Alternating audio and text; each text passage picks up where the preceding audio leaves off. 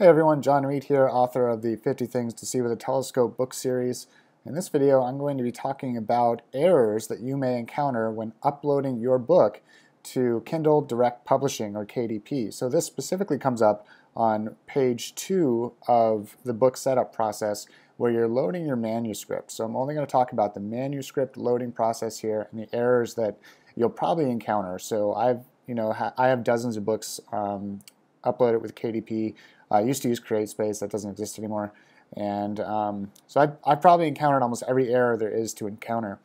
And what's interesting about these is even when you call them on the phone and have their senior support staff look at the issue, a lot of the time they don't know what's wrong, and I'll show you why here. So some background, here's the book I most recently up uploaded, 50 Things to See on the Moon.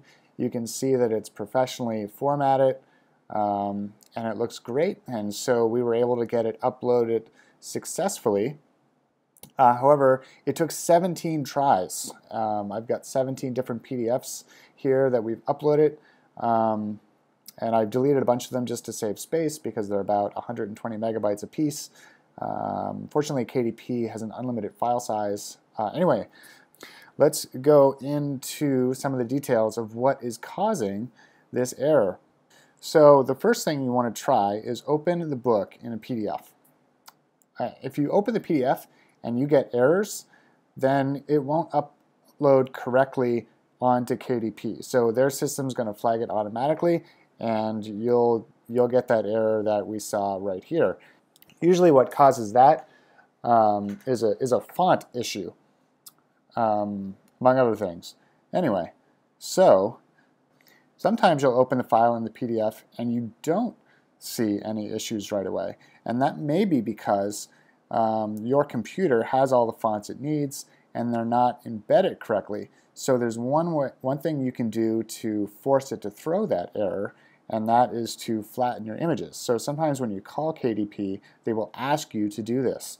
Uh, sometimes they may even say incorrectly that they won't accept the files um, without it this being done. Now, none of my books have their images flattened um, that I've uploaded, but it is a way to trip the error. So what you want to do is hit Tools in Adobe, uh, and I think this is this is the Pro version, so you will need that. Click Print Production, click Flatten or Preview, and all pages in document and hit apply. Now what this will do is um, it will flatten all the images and in my case it threw the errors that were causing um, my system to bomb. And here's the error that it threw for me. Cannot extract the embedded font brown display. Some characters may not display or print correctly. Okay, so that's how you check for that error. But now how do you fix it? So that's a little more complicated what you may need to do, so I know what, what um, font is causing the error, and it was this brown display font right here.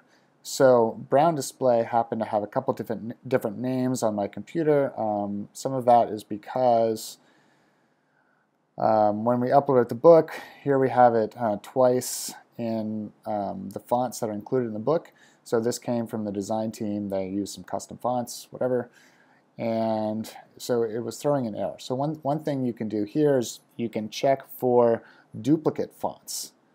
Uh, look for enable duplicates. And so um, if you click here, uh, it's saying none, but if it finds some, there's an option to fix them. So you can try that.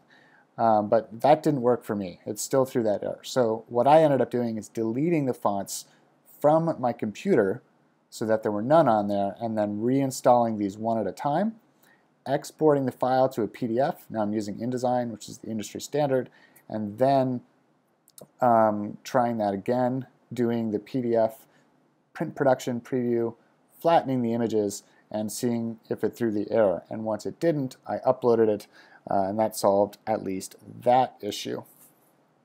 All right, so uh, again, to delete fonts, just go in here, right click, um, remove. And then just make sure you actually have the font to, to put back. Another test that I did was I op this is a Mac and I opened the book on a PC and it threw the errors in Adobe right away um, because that computer did not have the fonts. Um, and it actually used a substitute font in the actual book. um, which was nearly identical, but that substitute font, if you try and save it or flatten it on the, on the PC and use that alternative font, even though it looks near identical, it won't work um, in, in KDP. It's got to be embedded, and it's got to be embedded correctly. In InDesign, there's some other things that um, the KDP team is not going to see, but that are going to cause their automatic print um, analyzer tools to bomb. And one of them is that hidden, if there's hidden text boxes that you can't see, those are going to throw an error. So you're going to have to search through your files uh, and find those.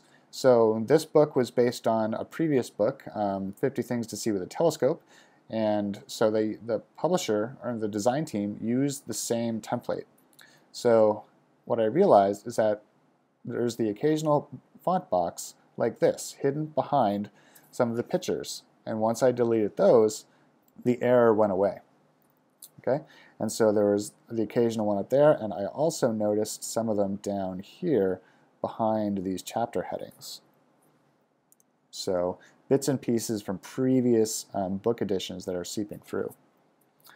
Okay, so now that we've fixed those, you may end up with margin issues. And so that's any text that's in your margin. So here in the table of contents, this, uh, this logo or label is way too high. So that's going to trigger an error. So you need to bring that down. All right. Okay. So another issue that, that flagged um, for me, now it didn't, it actually uploaded into KDP, it uploaded into the print previewer, um, and I hit approve and it still bounced back. And their issue was that the um, chapter um, headings and page numbers were too close to the bottom of the page. And the way I was able to do that was in my margin. So once I hit export book to PDF, the menu came up, and if I go to marks and bleeds, okay. So, so CreateSpace requires 1.25 on the top and bottom. Oh, inside, nope, that's the gutter, that's zero. Um, so usually you're going to have 0.125 here and 0.125 here at the bottom. And so what worked for me is I just zeroed out the top and put the entire um, 0.25 inches at the bottom. And, and what that did is essentially I borrowed um, a little bit of space on the top of the page uh, and put it on the bottom. And there was still enough room here that the book still looked great um, here, as you can see in Amazon. Uh, and you have plenty of room here at the bottom. Okay, so that's pretty much it. Um, hopefully, if you've been having this error, I know it's really annoying, stick with it. Um, it you know may take you 17 attempts, just like it took me to get it right. Um, but hopefully, you're able to solve the issue. Um, if not, uh, shoot me a quick note in the comments below, and, and, I will think about it and write you back. And hopefully, um, your upload process is as uh, it works. I'm not going to say it's smooth because it, it almost never is. Anyway, good luck with your book. And again, if you're if you want to support me and my work, um, my books are the 50 Things to See with a Telescope, um, 50 Things to See on the Moon, and, and books like that. All right, thanks very much. Bye.